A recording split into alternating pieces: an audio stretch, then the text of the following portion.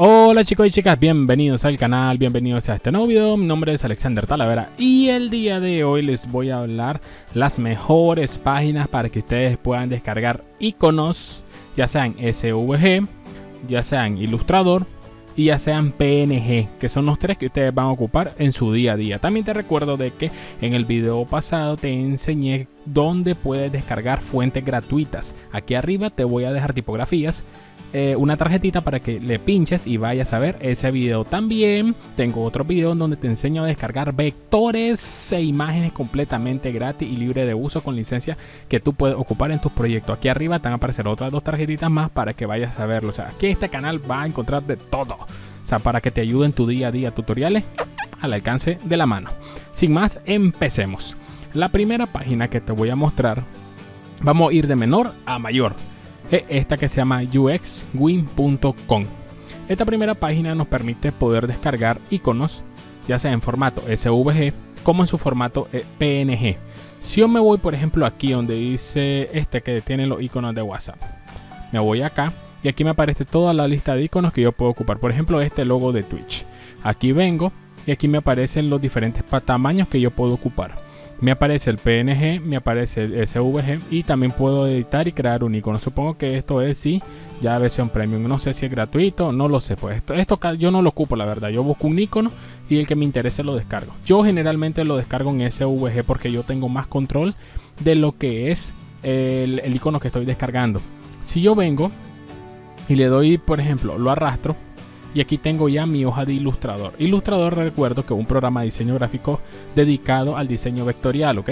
Yo lo arrastro, le doy OK y automáticamente, miren, aquí tenemos el logo de Twitch. Lo voy a arrastrar a mi página principal y lo voy a hacer más pequeño para que vean ustedes de que por más pequeño o más grande que yo ponga este, este icono, ¿verdad? En formato SVG, jamás, miren, va a perder eh, la parte de la distorsión, ¿ok? Jamás. Pero si yo lo descargo en PNG y yo este PNG lo arrastro acá, miren, aquí tengo los 2000. Ok, este lo voy a hacer más pequeño. Y hago esto, ¿verdad? Eh, no saliéndome del tema, sino para que miren ustedes la diferencia a la hora de poder descargarlo. Este es el SVG, miren. Y si yo me voy al PNG, miren lo que sucede. Ok, entonces eso es parte de que ustedes vean la diferencia y cuál les conviene más.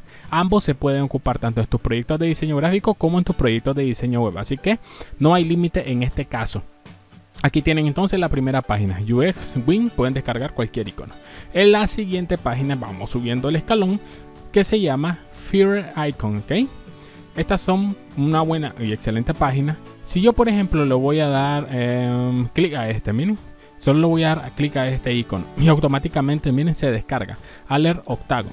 Yo vengo y lo vuelvo a arrastrar, ya saben cómo hacerlo. Y aquí lo tienen. En este caso es más pequeño. Voy a agarrar estos dos iconos y los voy a hacer aún más pequeños para que tengamos un poquito más de espacio. Voy a arrastrar este icono, miren, acá. Y lo voy a hacer más grande, miren. Y como ustedes ya ven, por más, por más que me acerque o más que me aleje, jamás va a perder distorsión. Aparte de eso, puede que me permite poderle cambiar el color. En este caso tiene un trazo. Yo puedo venir y poner el mismo color que tenemos aquí en la parte superior. ¿Ok? Miren. Sin ningún problema. Vamos a aumentarle otra vez el trazo como lo tenía. Y ahí está. Miren. Ahí lo tienen. Eh, vamos a darle aquí. Y vamos a aumentarle. Ahí está. Solo me falta hacer los bordes redondeados. Si se ven, si ven, ¿verdad? La diferencia es que puedo yo editar lo que es eh, el, icono acá en Illustrator. A diferencia de Photoshop. Voy a irme acá a Google Chrome y puedo descargar cualquiera. Puedo descargar, por ejemplo, esta que dice cámara, camera off.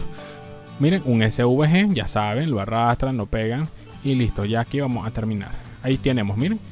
Ahí tenemos ya la cámara lista para que si la vamos a editar o la vamos a exportar para que en nuestros proyectos de diseño gráfico o diseño web. Ok, aquí tenemos la excelente página. La otra página que está así me encanta bastante, me gusta, me agrada y me alegra que a ustedes la tengan ahorita porque la van a agregar a favoritos. Miren lo que les digo. Miren esta eh, excelente página. Si yo vengo acá y yo selecciono un icono, por ejemplo, este de cama que dice bed, dice copiado. Miren lo que dice acá. Ok, yo vengo y voy a irme acá a mi documento principal y lo voy a dar copiar. miren y automáticamente aquí tengo lo que es la cama. Voy a eliminar ya este icono que tenemos acá ya no lo ocupamos ya no lo requerimos. Y aquí tenemos la cama ven yo puedo agrandarla y aquí tenemos el icono. Pero qué nos hace especial esta página Alexander miren lo que sucede. Si ahora voy a volverle al clic a la misma a ver voy a abrir una nueva ventana en la parte superior o una nueva ventana de incógnito miren acá en Chrome voy a darle pegar y miren lo que sucede aquí arriba en la parte del link miren me, está pegando un SVG, una etiqueta SVG. Si no saben qué es lo que es eso, voy a abrir mejor un notepad y aquí tienen, miren, un SVG. Si yo vengo este código, yo lo pego en un sitio web, este código me va a servir perfectamente sin ningún problema. Es decir, me va a salir este icono que estamos seleccionando acá en nuestro sitio web como un SVG acá. Completamente editable igual, o sea, está perfecto.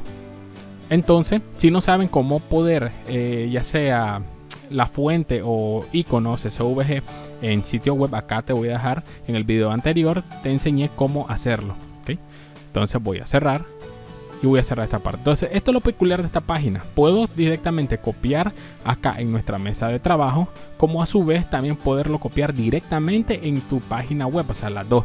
Y podemos cambiar el color directamente acá, miren podemos ponerle un color, podemos aumentar lo que es el grosor del trazo, miren. Podemos aumentarle el tamaño si queremos que sea más pequeño, que sea más grande y completamente editable, o sea, uff, buenísimo, ¿para qué?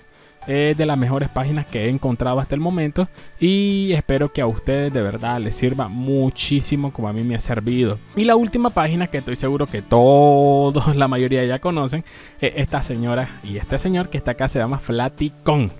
Esta es una excelente página. Desde que fue creada para mí eh, ha sido una ayuda completamente genial, la verdad.